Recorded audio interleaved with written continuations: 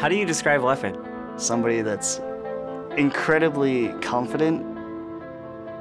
He can be vindictive at times. My name is William Peter Hjelte. I play Super Smash Bros. Melee professionally. I'm known as Leffen.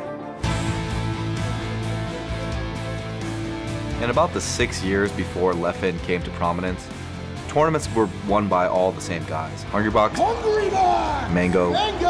PPMD, PPMD! Armada, and Mew2King. They were so much better than everyone else that it seemed unfathomable for other people to break into that echelon. Leffen was the one that destroyed all of that. What a way for Leffen to make his entrance. Leffen started winning everything. And a 5-0! Leffen wins. People thought maybe he is the best in the world. When Leffen is playing amazing, he can beat everyone. Oh my god! The era of the five gods is finally over. Leffen takes it! And then something happened which none of us are happy about. Leffen was stopped in his tracks from becoming the best player by the United States government.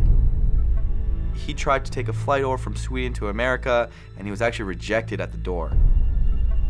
Almost all the big tournaments are in America, and the best players who, to play against are all in America. That's life, you know. Bad thing happened, and you go through it. You come up stronger. The thing about William is he's good at making comebacks. Leffen, beautiful! Yes! It's kind of what he does.